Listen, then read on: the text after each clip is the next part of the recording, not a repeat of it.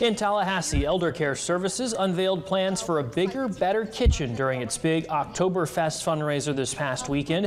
It's launching a capital campaign to pay for improvements that will allow it to serve hundreds more seniors. Right now, Elder Care Services cooks, packs, and distributes meals to more than 250 seniors every day. Renovations to its building on West Tennessee Street mean hundreds more could soon be getting a knock on the door.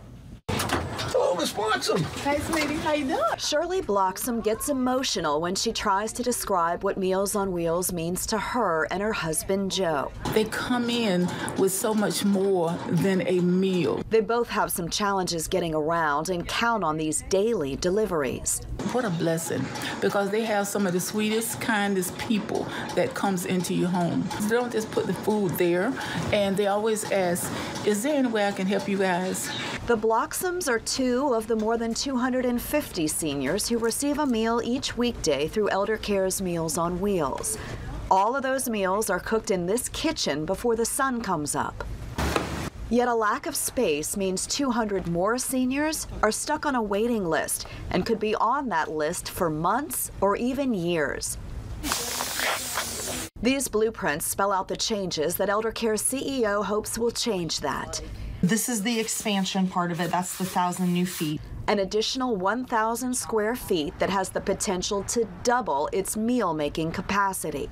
We're hoping that this will eliminate the Meals on Wheels waiting list. So, right now, there are hundreds of people on that waiting list.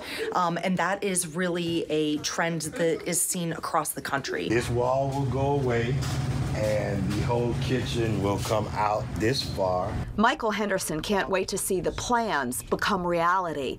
The VP and Director of Food Services has been running the kitchen for 10 years and working here for more than 30. What I find is that helping people is kind of my niche, my calling.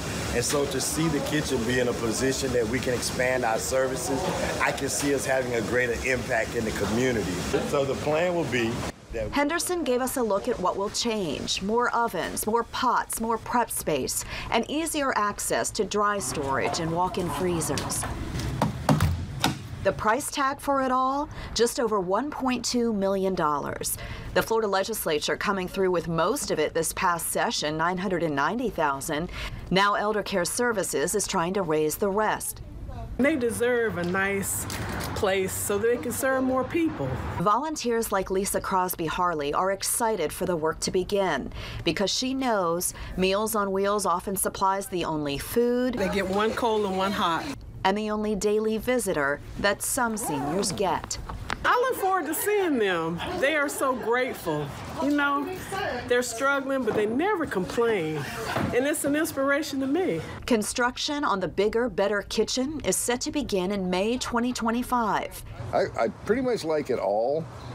I like the Salisbury steak.